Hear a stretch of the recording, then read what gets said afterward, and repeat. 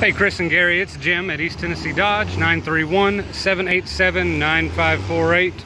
Hope if I do this right, we'll get the outside video, inside, and then the RPM portion of the video all in one fell swoop, if I do it right. If not, you'll get two videos. Uh, long story short there. Spotless on the outside, 4x4, dual rear wheels, just like in the pictures.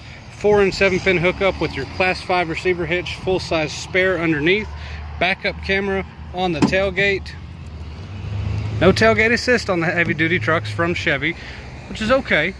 Fifth wheel prep group can be specific to that Chevy setup with your seven pin adapter here on the inside for your fifth wheel, your gooseneck, trailer, whatever it may be that requires you to have that set up for towing. Crew cab with the vent shades already installed. Turn signal indicators on the mirrors as well. It's got your work grade vinyl floors.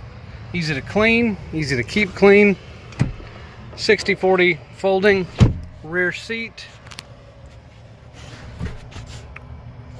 Put the fold down armrest.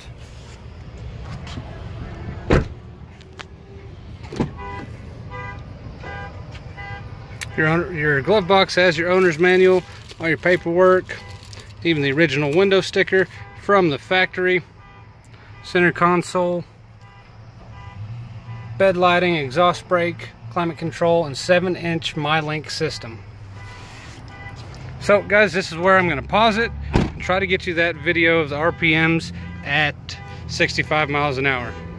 Here goes nothing.